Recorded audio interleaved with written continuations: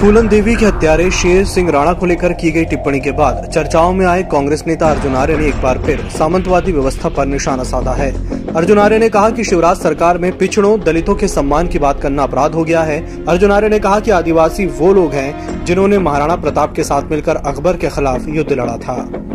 आज शिवराज सरकार में पिछड़ों, दलितों और आदिवासियों के सम्मान की बात करना अपराध सा हो गया है। फिर चाहे वो स्वर्गीय फूलन देवी जी के सम्मान की बात हो या फिर नेमावर में हमारी जिन आदिवासी बेटियों की हत्या हुई, उससे पहले उनके साथ जो बलात्कार हुआ, उनको न्याय दिलाने की ही क्यों ना बात हो? जब जब हमारे कमेरे वर्ग ने, कमेरे वर्ग की बेटियों के सम्मान की बात की, उन्हें न्याय दिलाने की बात की, तब तब हमें सामंतवादी संघियों के द्वारा हिंदू विरोधी करार दे दिया गया।